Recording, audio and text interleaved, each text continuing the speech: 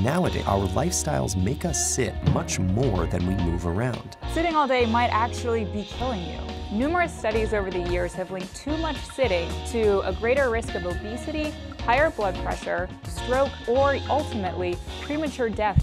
Office jobs have become a common form of employment. Although office jobs can be comfortable, they also have hidden dangers in the form of office chairs. Scientists have concluded that prolonged sitting is dangerous and increases the risk of dying dramatically, similar to obesity or smoking. Yeah, stick with me for that one. My name is Clemens, and today we'll see how sitting damages our bodies.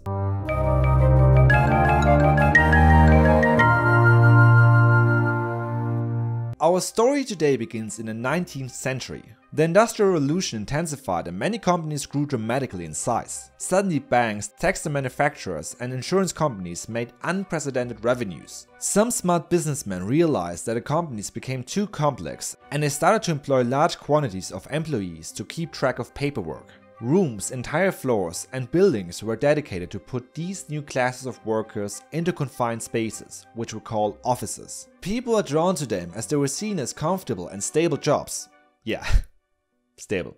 And while work-related accidents generally dropped, office workers faced new dangers. But it would take years until they were recognized. Over the years, bigger and bigger office buildings were constructed. The Empire State Building, the Rockefeller Center, or Shanghai Tower are only some examples. And skyscrapers help to meet the ever-growing demand of office space. Since the 1950s, the number of office jobs has increased by 83%. At the same time, the number of physically active jobs has plummeted from 50% in 1960 to less than 20% today. And this was only one part of the issue. As people became less active in their working hours, their leisure activities also changed. Unlike a couple of decades ago when people most enjoyed spending time outdoors, now they tend to prefer indoor activities such as watching movies, TV shows, or engaging with social media. The average adult spends over 2.5 hours a day on social media, which in itself is an issue as we've covered it in the past. And as a result, more and more people became physically inactive. Suddenly there were people setting up records where they spent over 145 hours playing video games or over 94 hours binge watching TV. The combination of sedentary jobs and leisure activities that involve little physical movement has resulted in people being more physically inactive than ever before. This is already bad enough, but fortunately nothing else happened in the past years which might further exacerbate the lack of movement.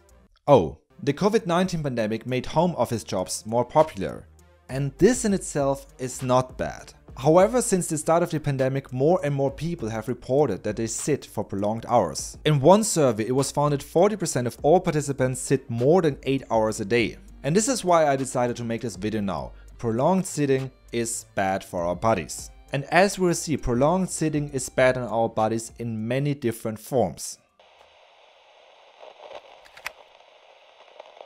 A small disclaimer, the studies presented in this video have specifically been designed to investigate the effects of prolonged sitting on our bodies. Some of the negative effects of prolonged sitting are similar to those of being physically inactive in general. There is a lot happening when we sit down. When we sit, we transfer the weight of the upper body to the thighs. Pressure is put on the spine and the tissue surrounding the thighs. Normally sitting doesn't do much to our bodies. If we sit for a couple of hours a day though, our blood flow is reduced and our digestion slows down. At some point we'll find a burning sensation in our hips and this is our body directly responding to the pressure we put on our thighs. If the burning sensation persists then cells in the tissue might start to die. In the long run, prolonged sitting can degenerate discs in our spine and lead to nerve damages. Especially poor posture can lead to lasting damages on our body. But besides damaging our anatomy, sitting does also something else. In one study, participants tried not to move for several days. The goal was to find out how the complete lack of movement affects our bodies. It was found that the lack of movement changed the cholesterol and sugar levels in the blood of the participants and increased their insulin response by 67%. This is one of the reasons why physical inactivity is associated with type 2 diabetes. And this is not all. Blood can pool in legs, which can decrease the amount of blood and oxygen that reaches the brain. As a result, our brain doesn't get as much oxygen and its activity becomes compromised. And scientists have already found impacts of this on the brain. Prolonged sitting and physical inactivity have both been associated with a thinning of the medial temporal lobe, which is a brain region associated with memory. And although this is still debated, some scientists argue that this is the reason why prolonged sitting and physical inactivity have been associated with dementia or depression. But again, a clear link here is still missing. The reduction in blood flow also impacts our hearts. In order to compensate for the reduced blood flow, our heart has to work harder and pump more blood, which can lead to an increase in blood pressure. Over time, this increased workload on the heart can lead to damages in the heart muscle and increase the risk of heart attack by 147% in the long run. Yeah, that's a lot. And it doesn't even take decades for such a serious condition to arise. Even young adults who are otherwise healthy can have some serious complications. Prolonged sitting can lead to what some call gamers thrombosis. Gamers thrombosis occurs in people who play video games for long hours. Take the case of KL. KL is a 31 year old man who worked as an exterior painter and enjoyed gaming. He played on his couch for most of his free time. On what seemed like a usual day, he started one of his gaming sessions. Suddenly his palms became sweaty, his knees became weak, and his arms heavy. When his mom brought him spaghetti, he experienced pain in one of his legs. Initially, KL decided to ignore the pain and continue playing video games. After three days though, his leg was more swollen than ever, and so he decided to go to the hospital. Upon examination, doctors soon realized that a vein in his leg was abnormal in size. The ultrasound then detected a blood clot in his leg. In KL's case, the lack of movement resulted in a reduction of blood flow, especially in the veins. As a result, blood platelets got into close proximity and started to stick together. Blood platelets are normally important to stop bleeding after an injury. They do this by releasing molecules into the environment, which causes so-called clotting factors to activate. The clotting factors together with blood platelets then stop the bleeding. The excessive gaming sessions caused platelets in KL's leg to send the wrong signal and form the blood clot in his vein. KL was lucky though, in serious cases blood clots can move through the body and block the blood flow somewhere else. The blood clot might end up in the brain causing a stroke or travel to the lungs and result in a pulmonary embolism. And this can become life-threatening. Fortunately, KL's blood clot was discovered early and he could be treated accordingly. He was discharged from the hospital and learned a valuable lesson. Switch to more active gaming. Before we discuss what we can do to avoid all these health complications, one last thing. This is a territory where we actually do not know what's happening, so please keep that in mind. Prolonged sitting is associated with a higher risk to develop cancer. A large study followed over 240,000 adults who didn't suffer from cancer, heart or lung disease at the beginning. Over the next 8.5 years, it was found that those who reported to watch over 7 hours of television a day had the highest risk to suffer from cancer. Another study comprised over 490,000 men and women aged between 50 and 71 and tracked their behavior. It turns out that men who watched TV for the longest hours had an increased risk to suffer from colon cancer, and women had a higher risk to develop endometrial cancer. Again, it is not entirely clear how prolonged sitting contributes towards cancer. But right now it is proposed that not sitting but the resulting physical inactivity is the culprit. Physical inactivity can alter the levels of sex hormones or increase inflammation in the body, both of which can be risk factors for some cancer forms. But again, we do not fully understand how this works. Nonetheless, we've seen that prolonged sitting can damage our bodies in various ways. So what can we do about that?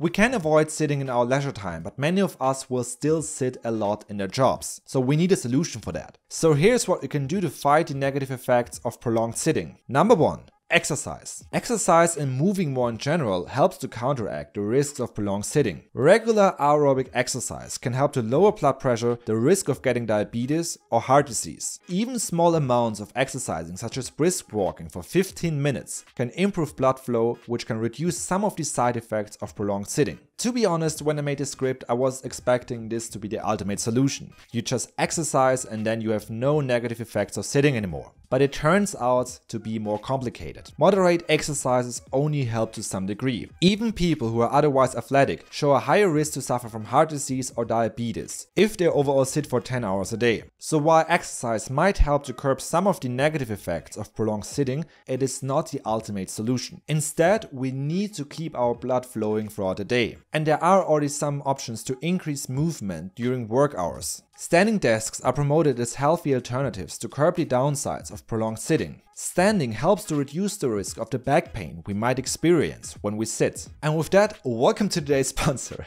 Just kidding, that would be kind of bad. However, the remaining benefits are more speculative, such as reducing the risk of obesity, diabetes, cancer, or heart disease.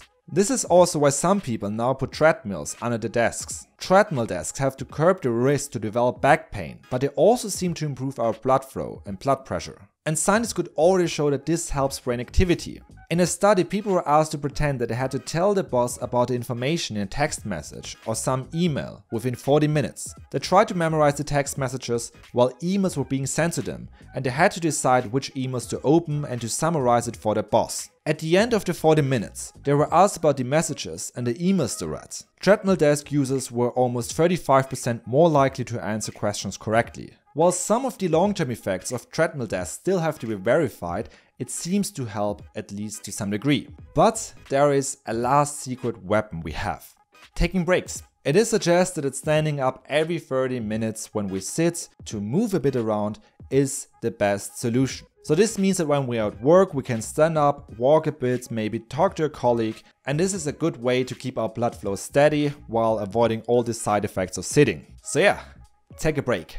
Office jobs have revolutionized the world economy. But although office space is in general safe, prolonged sitting can damage our bodies. Sitting for long periods is associated with back pain, disturbances in our metabolism, heart disease, stroke, dementia, and various forms of cancer. Fortunately though there are a few things we can do. New workplace models encourage movement while we work, and while this might help, the solution can be even simpler. Take a break from time to time and go out for a walk. With that, a question to you. What do you do to stay active? I hope that you enjoyed this video and so feel free to like it and comment and do all the other great YouTube stuff.